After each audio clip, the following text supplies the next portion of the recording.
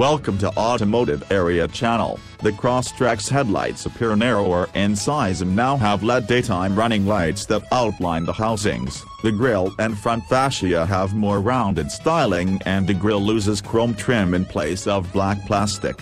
The fog lights now have a black plastic surround. The Crosstrek retains its large windows for good outward visibility and also keeps the black plastic fender guards. The headlights and taillights wrap around the body more while the rear spoiler has grown in size resulting in a sportier profile. The interior has been updated significantly with a larger and sleeker infotainment screen, vertical center back vents, and the modernized shifter with a leather boot and piano black surround. The seats now have bright contrast stitching and two types of fabric. The bright contrast stitching continues on the steering wheel, center console, dashboard, and door panels. The steering wheel has a sportier appearance with hand grips and the driver display screen should be larger and have better resolution.